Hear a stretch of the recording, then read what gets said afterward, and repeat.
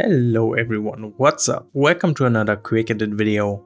For this image I want to apply some kind of Mexican color grading, so that just means it looks a lot warmer. In general just has this very strong yellow tint and that's a pretty common theme in Hollywood movies, I just don't want to make it as strong as you can see it in those movies. So let's go. For the editing, first I will be using the Camera Raw editor and here let's change the profile to Adobe Standard. This will already just lessen the contrast a bit and I think in this case this works pretty good. It's pretty simple, we already have some kind of golden hour light. I just can make it stronger by changing the white balance to cloudy. As you can see this just turns up the temperature and changes the tint a little bit. And from here on we can go on by increasing the whites, since we do have a lot of room left here when looking at the histogram. And we want to nicely expose this image, just like that. See, no overexposure and no underexposure, so that's looking pretty solid. Still, I want to take out a little bit of contrast, so let's also increase the blacks, just a tiny bit. Alright, and now let's also boost the vibrance. Okay, that looks nice. It's already a big difference, but let's change this image a little bit more by using some local adjustments. First off, I'm going to use the gradiated filters. Of course, I want to make the sky darker as usual, and I also want to only target the blue part of the sky with this gradiated filter. To darken this area, I'm going to simply drop the exposure.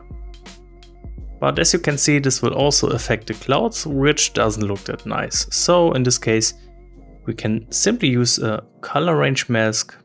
And with this eyedropper selected, I'm going to pick up the blue color tone from the sky up there.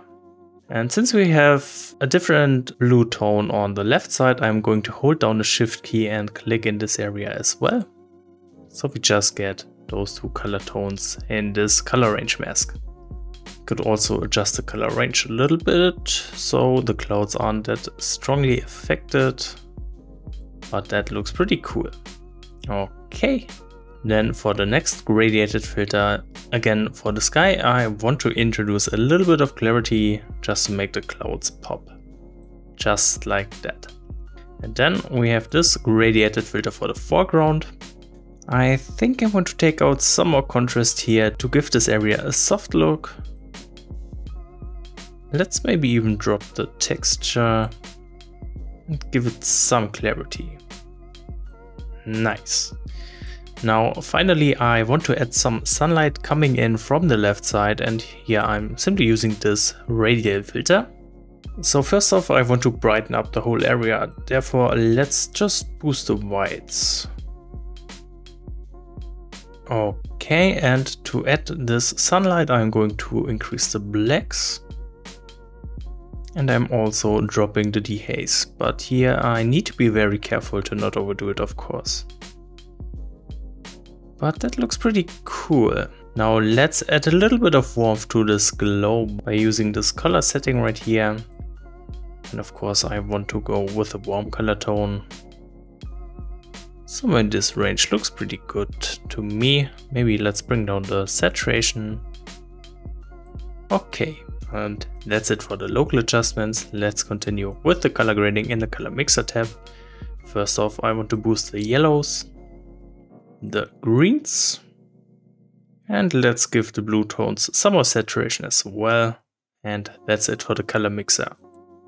In the color grading tab, I want to target the highlights and simply go with a tone in the yellow range.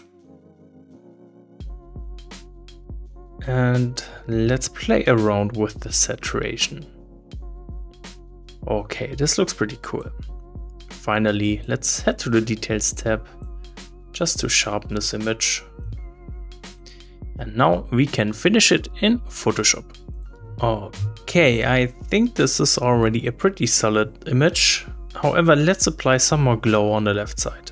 So for this I'm adding a new layer and let's switch the blending mode to soft light, grab the brush tool. You see I already dropped the brush opacity to not make this effect too strong. And let's also pick up a warm color tone, just like that. And now let's paint in a little more glow.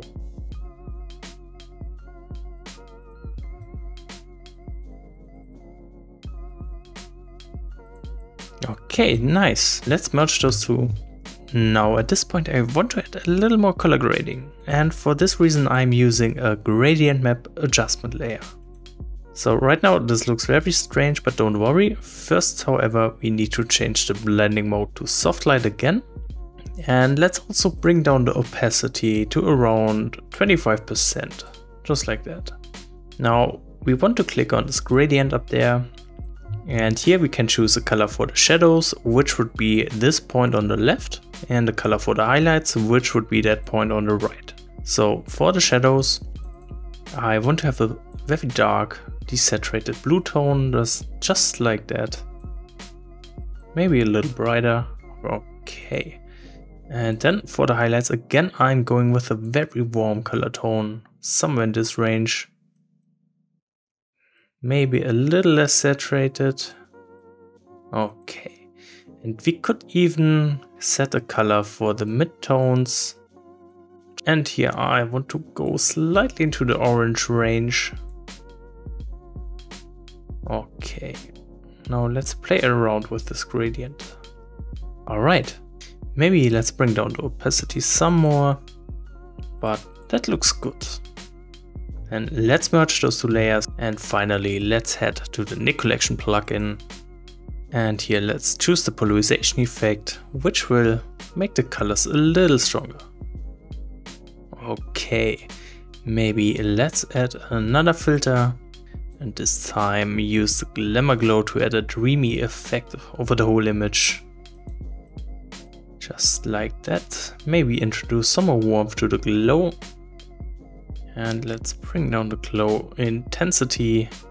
And also I want to add a negative control point just in the center on the tree. And that's about it. So let's apply it like that. Alright, and that's it for this image. So I hope this was interesting and helpful. If you have questions left, feel free to ask in the comments and thank you very much for watching this video.